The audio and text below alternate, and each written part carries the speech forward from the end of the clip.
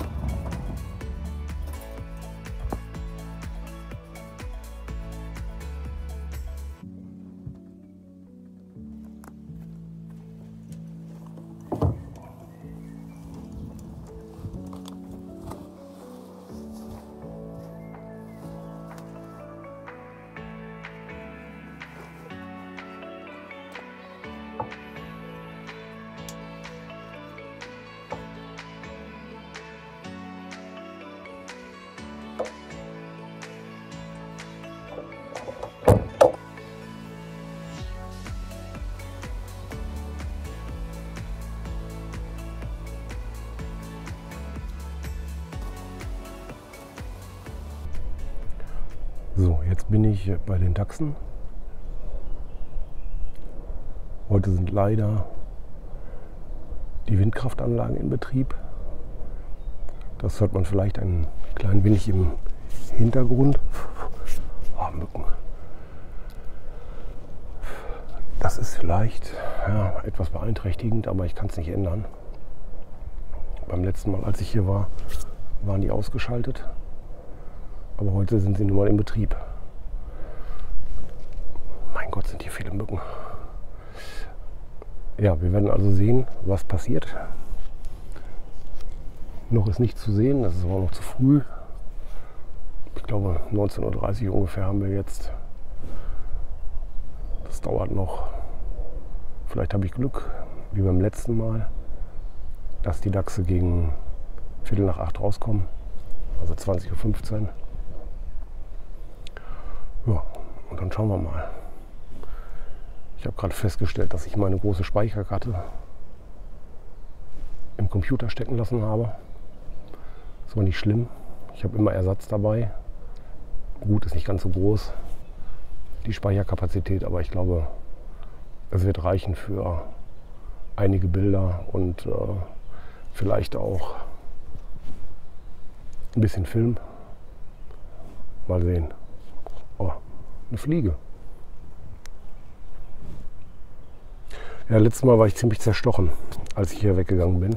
Da hatte ich so 30, 35 Mückenstiche nur auf dem Handrücken. Das war in den folgenden Tagen dann etwas unangenehm. Aber wir schauen mal, ob das heute auch wieder so schlimm wird oder nicht. Wir schauen mal. Melde mich. Vielleicht nicht mit dieser Kamera. Vielleicht habe ich nachher die andere an. Ich habe noch eine auf dem Objektiv drauf. Und äh, dann kann natürlich ja die Kamera ja auch filmen. Und äh, wir schauen mal. Also noch ist alles ruhig. Und äh, es ändert sich bestimmt. Ein Reh habe ich eben gesehen. Aber zu spät. Und ich hatte alle Hände voll, weil ich natürlich mein äh, improvisiertes Stativ in der Hand hatte, in der einen Hand und in der anderen Hand die Kamera. Das konnte ich dann nicht schnell genug loswerden und wechseln und äh, ja, das Reh hatte mich dann gesehen und war es natürlich weg. Aber es gibt andere Gelegenheiten, wo wir dann auch mal wieder ein Reh fotografieren können. Ganz alleine und mit vollem Erfolg.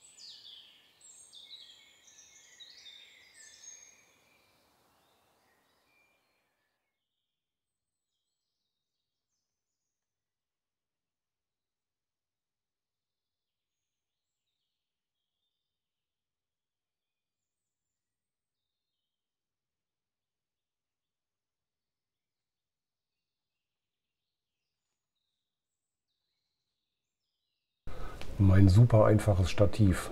Einfacher Outdoor-Teleskop-Wanderstock. In die Schlaufe oben hänge ich die Kamera samt Objektiv mit der, der Stativstelle ein. Und das reicht völlig aus. Ich habe einfach keine Lust, mein Dreibeinstativ mitzuschleppen. Sehr gerne hätte ich meinen Ground Slab mitgenommen. Das funktioniert hier allerdings nicht, weil ich einfach in den Boden fotografieren würde. Das wäre zu flach. Für bodennahe Aufnahmen ist es gut, aber hier ist er zu flach. Trotzdem verlinke ich euch aber einfach mal ein Video zu dem Ground Sled. Vielleicht habt ihr ja Lust drauf. Ansonsten heißt es jetzt sehr langsam und ruhig, möglichst ruhig natürlich, durch das trockene Laub den Wald zu verlassen, die Dachse nicht mehr zu stören.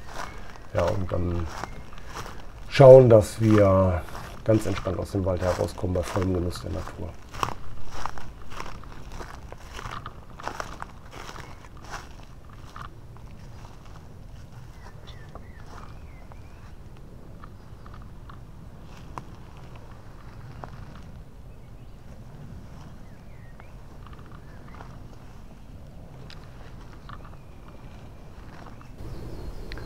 Also das war cool.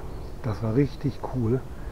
Ich habe noch nie vorher Dachse so lange, so nah vor der Kamera gehabt. Noch nie. Das waren jetzt Junge. Ein Elterntier oder, naja, das müssen wir anders sagen. Vor zwei Wochen habe ich ähm, zwei Erwachsene, stimmt nicht, drei Erwachsene und vier Junge gesehen. Als ich vorhin hier hingekommen bin, hat ein erwachsenes Tier den Bau verlassen und es ist in den Wald reingelaufen. Und danach kamen drei Junge raus. Nur drei, nicht vier. Es kamen nur drei raus. Und zwar die drei, die ich dann eben auch fotografiert und gefilmt habe.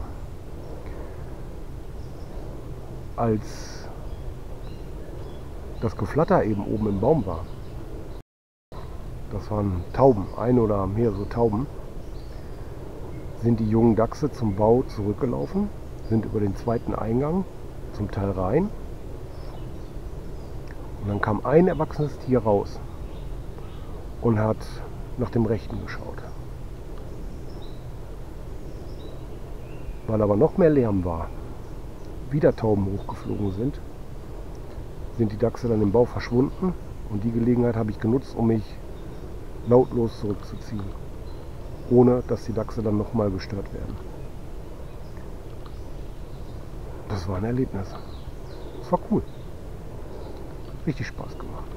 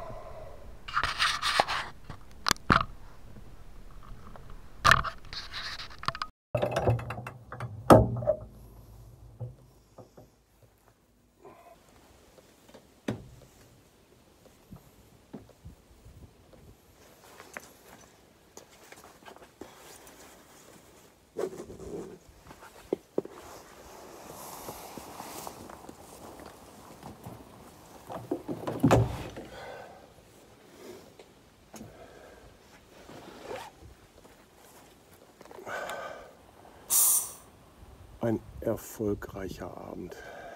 Das kann man nicht anders sagen. Es war ein langer Abend. Ich denke mal, dass ich ungefähr drei Stunden unterwegs war. Aber es hat sich gelohnt. Es hat sich wirklich gelohnt. Also ich habe, ich habe mehrere DAX-Bauten, wo ich hingehen kann.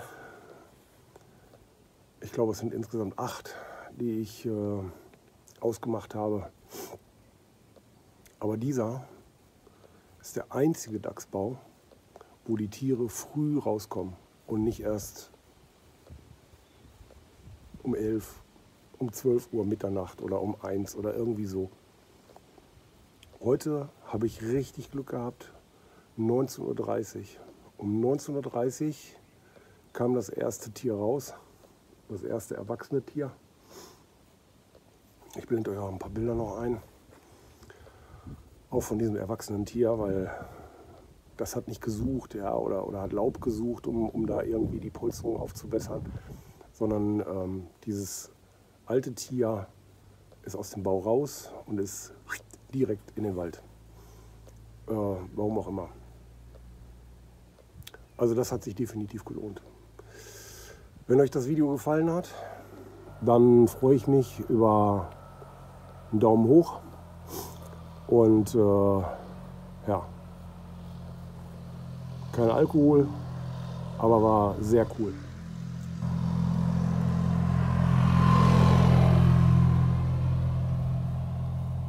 Andere fahren Motorrad am Abend. Ich gehe Dachse fotografieren.